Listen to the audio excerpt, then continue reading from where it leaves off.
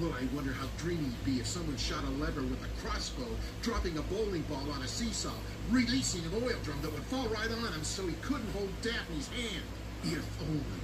If only. I can't with you. Why did you insist upon coming with me? You seem terrible, Bess.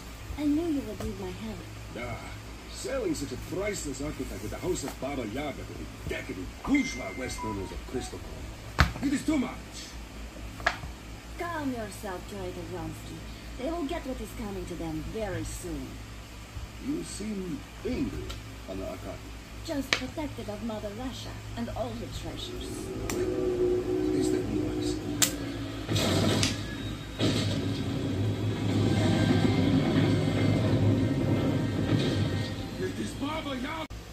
I don't know.